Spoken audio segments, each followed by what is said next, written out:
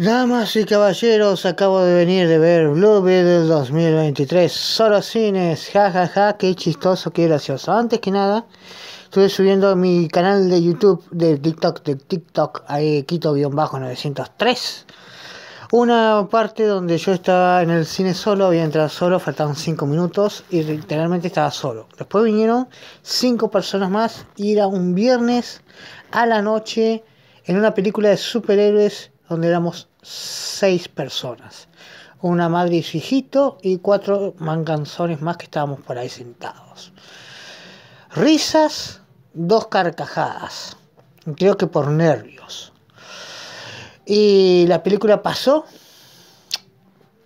Y bueno, todos los que me dijeron, todos los que dijeron, todos los que dijeron, todos, todos, cada uno de esos personas, personajes que dijeron que esta película era buena, entretenida, para pasar el rato, estaba bien y todas esas cosas.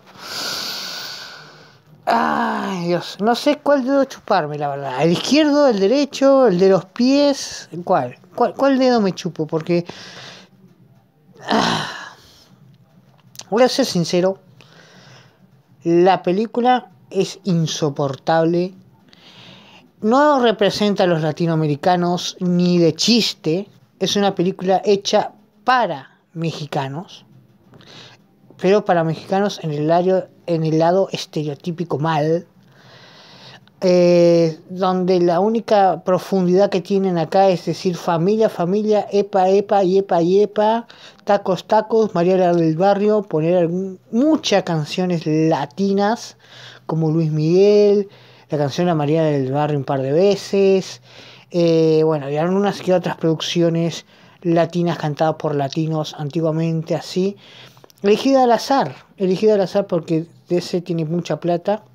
Elegida al azar para por lo menos a ver si llama la atención de alguien de decir, miren, en una película de DC pusieron una escena de María del Barrio, ay, caica, ica, ica, ica, yepa, yepa, taco, taco. Y era escuchar un insulto tras otro tras otro. Es como escuchar un monólogo de un norteamericano riéndose de los latinoamericanos de una manera muy sarcástica y que tal vez algún que otro mexicanito allá que vive en Estados Unidos se vaya a reír y va a decir, ay, cierto, soy tan yo, ja, ja, ja, ja, ja, ja, ja, burrito, burrito, ja, ja, ja, ja, ja, ja, y salta de nuevo el muro para volverse a su país. Básicamente es eso. Es una película que en el principio son todas referencias hacia la cultura latina. Hace nada era mexicana. Dialectos mexicanos que no entendí ni papa. Chistes mexicanos que no entendí ni papa una tipa acá diciendo voy a cagar con clase adentro de una mansión ahí y, supuestamente tenemos que reírnos porque dijo cagar, ja ja ja, hace caca la chica, ja ja ja, qué chistoso, tengo cinco años mentales, James Gunn. Ay, acá me estás preocupando, James Gunn, porque tu chiste de pedo, pipí, popó eh, llega a un extremo de, de preguntarse uno mismo si realmente maduraste mentalmente en algo. De verdad como productor ejecutivo, maduraste mentalmente en algo porque en Guardianes de la Galaxia ninguno de los tres recuerdo yo, excepto en la tercera quizás, que hayas dicho algún chiste de pedo pipí popó. Creo que no te fue necesario hacer eso. Acá sí, acá sí. La película como tal es el origen de este chico X, sin personalidad alguna, desconstruido, desconstruido hay que decir también, porque tiene un diálogo donde nos muestra súper desconstruido, un aliade del montón, vomitivo, personaje genérico que tendríamos que tenerle algo de paciencia, algo de, de cariño, que es el señor Reyes, ni me acuerdo el nombre, eh, Juan Reyes me parece que se llama. Entonces Juan Reyes tiene superpoderes de la nada y su, misión en la película es llevar la trama de un lado al otro sin presentar ninguna noción ni nada por el estilo y que él es el buenito, el bueno, el que tiene buenos valores, el que corre para salvar a la gente porque es buena persona y ya está. No hay absolutamente nada en él que lo defina como personaje. Es el mexicanito, buenito, que no rompe un plato y súper idealista y mega desconstruido como tiene que ser. O sea, un tipo, un hombre sin pito. Ya saben, como todo buen aliado. La villana que aparece acá, eh, no se sabe nunca su plan. Quiere hacer un ejército de Blue Beatles eh, porque está loca y es, la, y es mala, porque de seguro es blanca y rubia y por eso es mala. Ah, y rica, o sea, tiene la trinidad de la maldad, ser blanca, rubia y rica.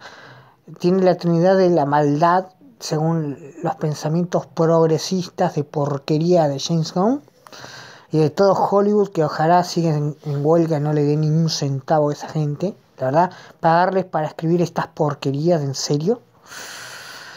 Y no tiene personalidad ni el protagonista que tendría que tenerla, ni la villana que tampoco tiene una misión clara, solamente es mala porque juega, juega, juega, es muy malo y, hasta junta los dedos como el señor Burns, así tipo señor Burns, y, y dice, excelente ñaca ñaca, yo soy mala, miren lo mala que soy ñaca ñaca, y también discrimina a los mexicanos, o sea, es súper mala, mega mala, la maldad encarnada. Porque mira a los mexicanos, a sus empleados mexicanos que ya le pagan un sueldo por ser empleados, como si fueran empleados. Oh my god, la maldad. en su máxima expresión, hasta dan ganas de vomitarlo. ¿Cómo vas a pagar a personas para que sean empleados y lo vas a ver como empleados? No puede ser. La maldad pura y dura, en sujeta, sujeta, sujeta. Tremendo, terrible lo malosa que es esta chica. La malvada villana esta. Ya ni sé en su nombre. El resto de personajes, la familia de Reyes es como unos personajes que están ahí, que son insoportables, que no tienen ninguna personalidad desarrollada ninguno. El tío es loco porque jajaja, ja, ja, qué risa. Ah, y le dice a Batman fascista, qué chistoso. Yo tengo otro chiste. Blue Beetle es un fracaso que no va a durar ni una semana más porque nadie le importa. Jajaja, ja, eso sí es más chistoso. Idiota. Y de principio a fin es que él tiene que descubrir cómo usar su traje. Tal vez tiene que descubrir por qué su traje tiene personalidad propia y tiene que lidiar entre ambos un conflicto interno entre la moral humana y la moral alienígena. No, la, la, película se trata de la familia y cómo la familia es muy familia. Y la familia es tan familia, viva la familia, tacos, tacos, sombrero, mariachi. Viva México. Esa es la trama. Joder, yo me he visto un par de episodios de Batman el Valiente. Batman fascista según esta película. El Valiente. Según Batman el Valiente, eh, eh, ¿cómo se llama? Reyes, también se llama el apellido, no controla a Blue Beetle. Y tienen conflictos exactamente todo el tiempo. Es como una doble personalidad, porque su parte superheroica, su traje que tiene voluntad propia, quiere destruir, quiere eh, hacer lo que él quiere, quiere proteger a su, a su, ¿cómo se dice? A su servidor, no, a su cuerpo, a su, como se llame, eh, lo quiere proteger de a toda costa y no, no, y no siente ni resquemón, ni respeto, ni nada por si mata a alguien o no lo mata. Y mientras tanto su otra personalidad, que es la del el mismo ser humano, no quiere hacerlo, quiere enseñarle. Y esa disputa es eterna que son dos formas de ver el mundo y de verse a sí mismo. Y eso es lo interesante de ese Blue Beetle. Acá pasa por un segundo plano y es como que si me pusiera la mejor parte de una hamburguesa que vendría siendo la carne, eh, parte de afuera de la hamburguesa y poco decorada y, y comida y mordida y escupida. Yo te digo, eh, espera, eh, ¿por qué está así? Porque lo que más importante no es la hamburguesa, no es la carne, sino es el pan, el relleno, eh, la mayonesa, el resto de lo que hace la hamburguesa, no la carne.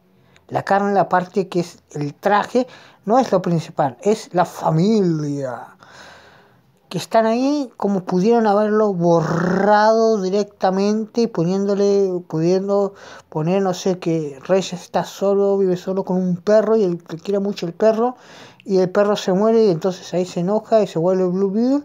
Hasta hubiese funcionado mejor que esta pantraña de gentuza que solamente está ahí para ser chiste y ser muy mexicanos. Decir mucho yepa yepa taco tacos. De verdad. Una película que me sacó de quicio. Yo iba con ganas de disfrutarla, con decir, bueno, si la gente, los críticos que me vieron de tonto una vez más, dicen que es buena, que es linda, que es divertida, que es fantástica, es maravillosa, que es increíblemente interesante y toda la zara, zara, zara, que tiene, pues yo también, ¿no? Eh...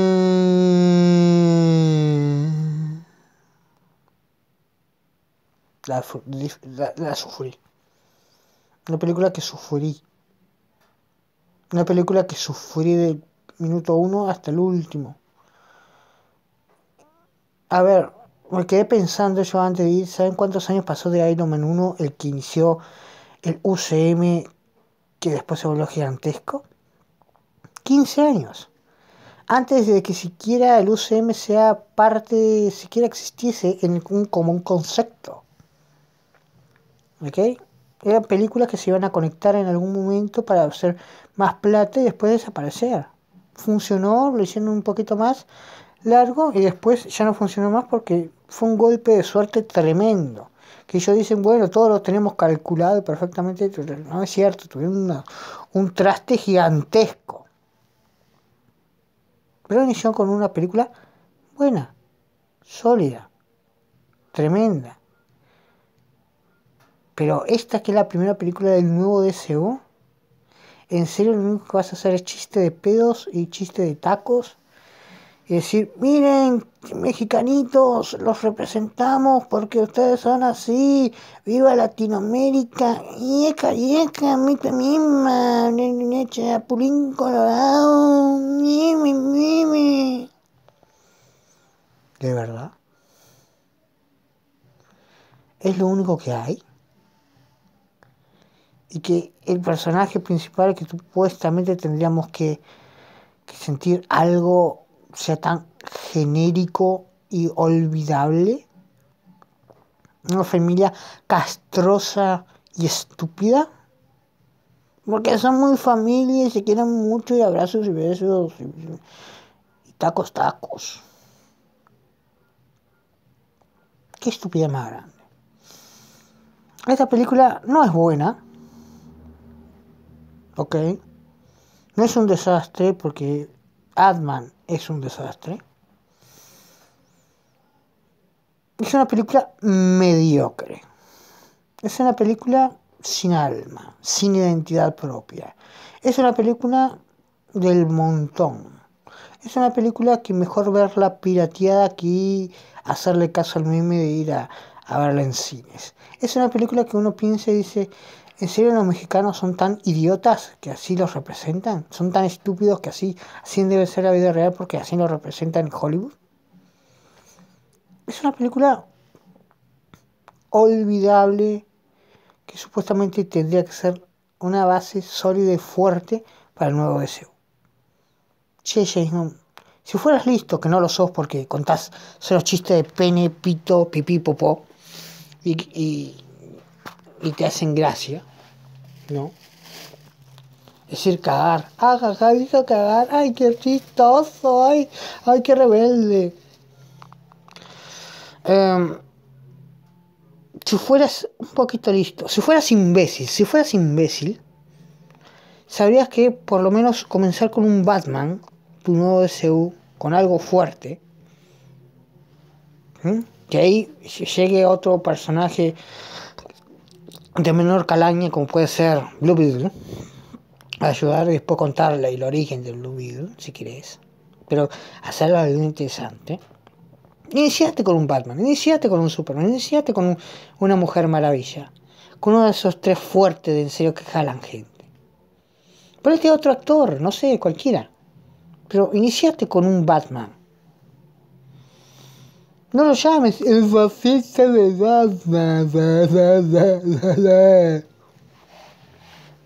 En serio. De verdad. Es que no se puede ser tan... Ah, disfrutable la película. Que no recomiendo ir a ver al cine.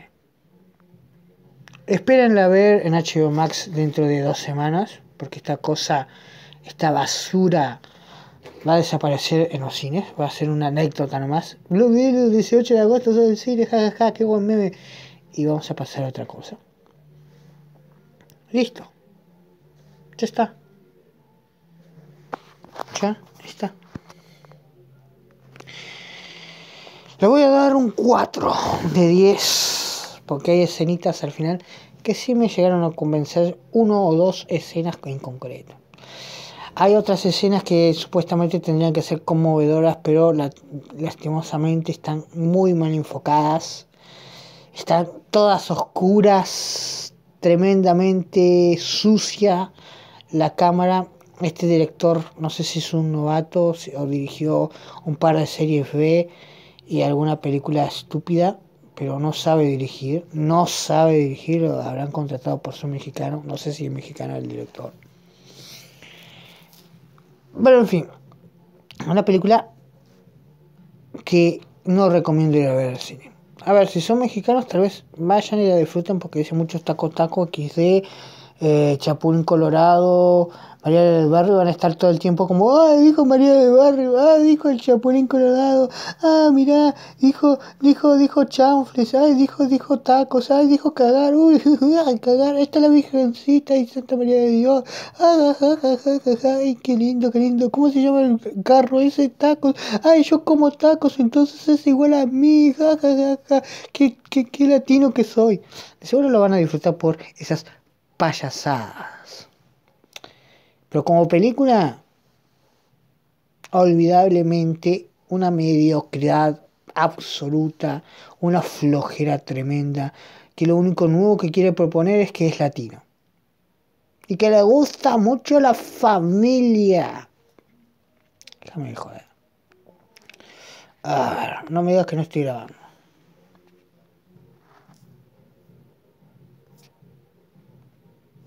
Ah, sí, perdón. Pensé que no estaba grabando una vida en globito. Bueno, señoras y señores, eso es lo que pienso. Una película pérdida de tiempo absoluta. Menos mal que fui comido, menos mal que me comí una hamburguesa antes de entrar al cine. Porque por lo menos me, entré con, con, humor, entré queriendo tomar que sea un poquito gaseosa, me comí algo en cosa y por lo menos no fue una tarde desperdiciada del todo. Por lo menos pude comerme una rica hamburguesa y salir de mi pieza, que es lo que más me falta hacer a mí. Por parte me despido. Deseo a todos ustedes una muy buenas tardes, buenas noches. Y la verdad me estoy quedando muy corto porque me dan ganas de seguir insultando a esta porquería absoluta. James Home, deja a los latinos en paz. Eh, y si tu único aporte como CEO, director, productor es decir chistes de pito, pipí, popó, eh, Déjalo a otro que sea más capaz. Déjalo a Snyder. A ver, no me gusta Snyder ni un poco. Snyder es solamente slow motion y que todo sea con cara de poto. Pero por lo menos intentaba dar algo de seriedad al universo cinematográfico de DC. Por lo menos, por lo menos. Vos solamente sos chistes de pipí popó y ahí no salís. No, no sabés dirigir. Si no tenés a alguien encima tuyo que te diga, hey, flojar los chistes y meterle más acción. No sabes, no sabes, no te sabes controlar. Tienes cinco años mentales, James. En serio, en serio. ¿Qué problema tenéis? Vale. Por parte me despido. Será hasta nuestro siguiente video. Nos vemos. Adiós.